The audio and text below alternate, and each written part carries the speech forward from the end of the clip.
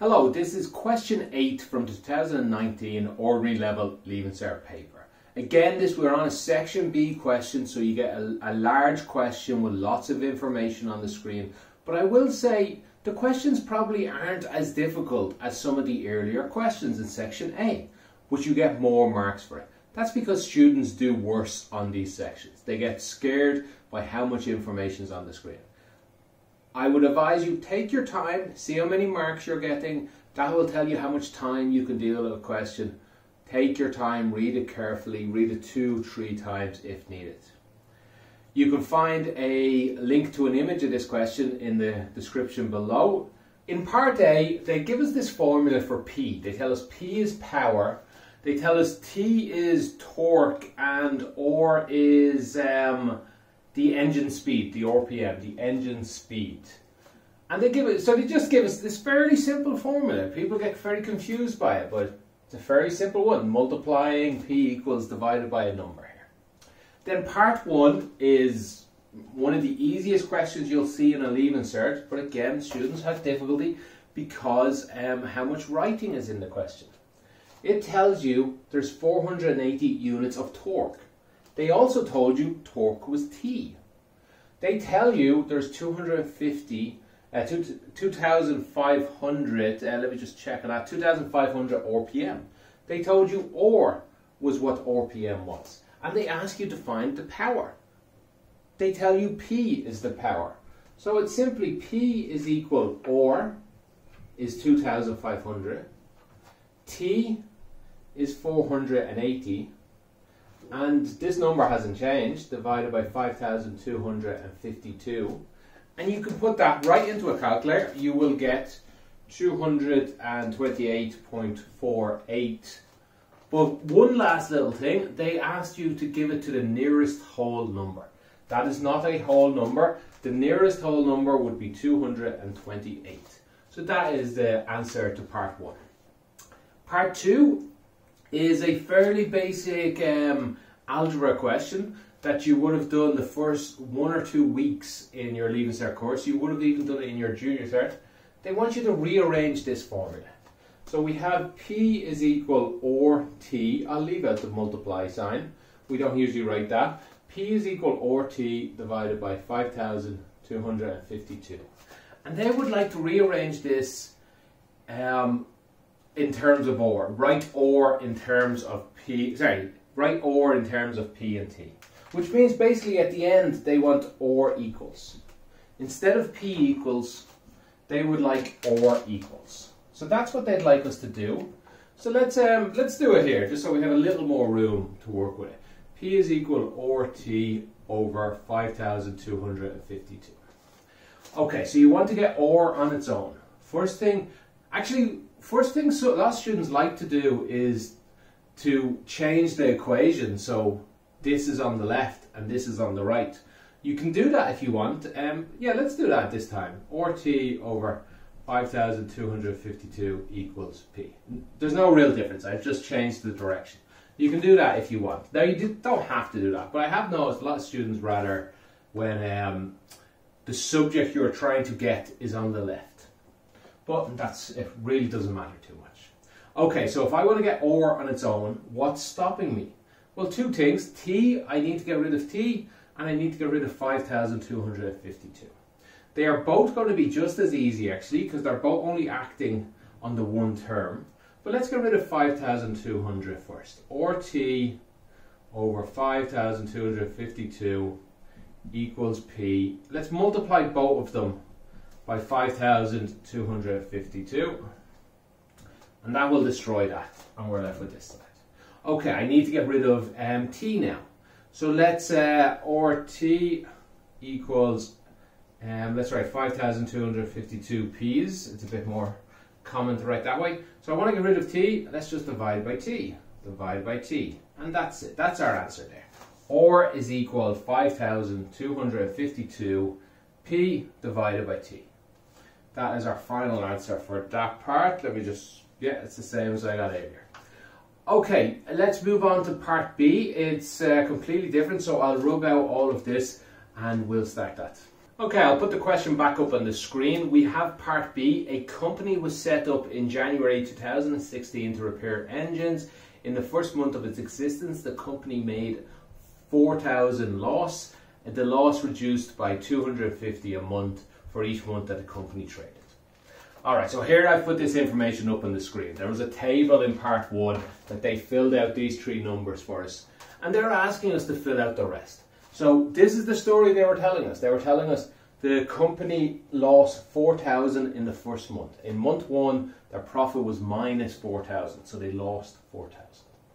They said the loss reduced by 250. That's a bit confusing because it's a minus and a loss reduced.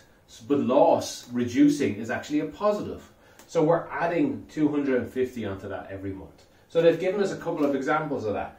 Plus 250 plus 500, two 250s got the hair. So they would just like us to fill out the rest of this. It just changes 250 every month.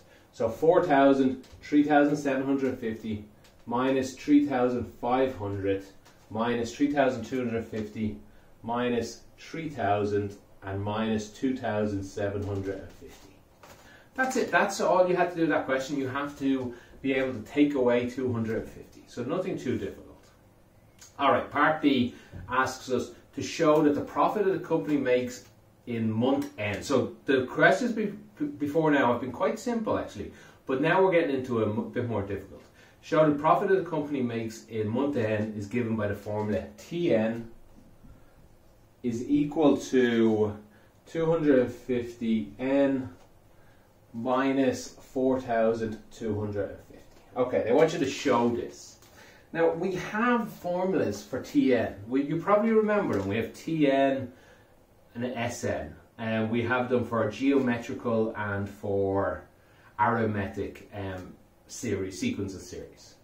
So you need to first of all notice that this is an arithmetic one. It go it changes um, by a constant number each time.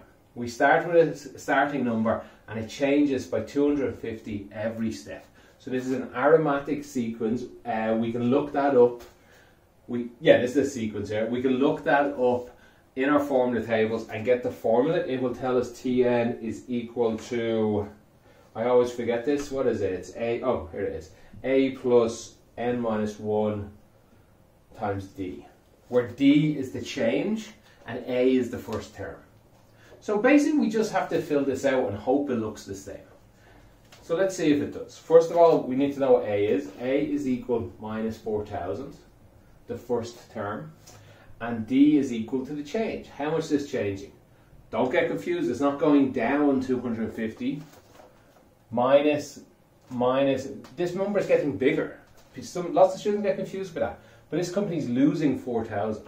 Now it's only losing 4,750. So they actually made more money. So the number actually went up 250 Went up 250 every time. Think of it all the way down here when we get to zero, and then we'll have 250, and then we'll have 500. It'll be much clearer to see that the number is in fact going up when we get to that world. But still, you, you need to be able to understand that when it's in minus, going up looks like this. Alright, let's fill this in here. We get Tn is equal to minus 4,000 plus n minus 1. We don't know what n is. We want n in our answer. Remember, 250, so we don't need to know n yet. Right, so we, I guess we can multiply this out. Uh, this is equal to minus 4,000 plus 250n minus 250 times minus 1 is minus 250. Sorry, n I missed there. Alright, let's add the like terms, all the n's together. There's only one of them. All the numbers together. Ah, here's two of them minus 4,000, um, minus 4,250, 4,000 minus another 250, plus 250 n. And now that's, we're finished. That's the same as this. If you want, you can just rearrange it once more. I think maybe it's probably a good idea to do it once more. And there you go, you're finished. You've shown that this equals this. That was part two. Let's do part three. Uh, we might have room to do all of this here. Ah, probably not. We'll probably have to rope some of this out. But part three tells us what profit does the company make in January 2018? but they are helpful to us. They tell us that's month 25. So here's 1, 2, 3, all the way up to 6. If we just stayed going to 25, that's the number we want. But there's an easier way than doing all that. Lots of students do it though. If you have time in your exam and you don't know what else to do, you'll still get full marks. But the easy one is right here. Here is Tn.